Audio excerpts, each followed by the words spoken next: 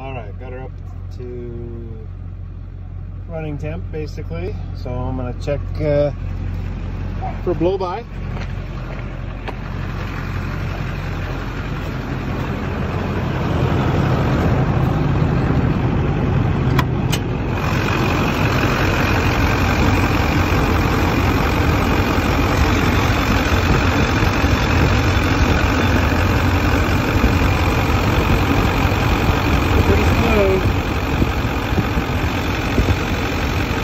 Little bit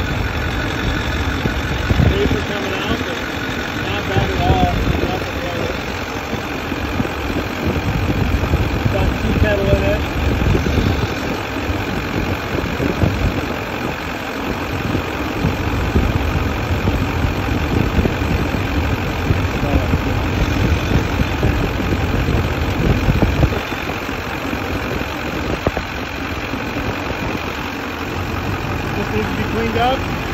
Start doing some stuff to it.